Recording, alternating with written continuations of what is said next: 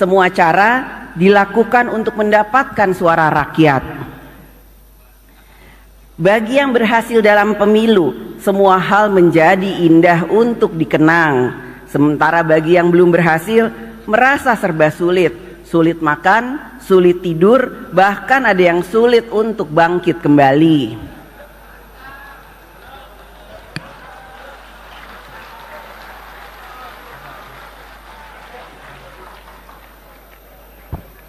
Itulah potret pemilu tahun 2024. Haruslah menjadi kritik dan otokritik bagi kita semua.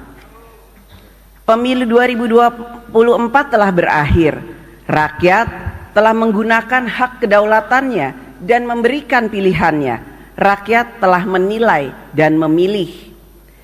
Rakyat tidak dapat disalahkan atas pilihannya, apa pun yang mendasari pertimbangannya.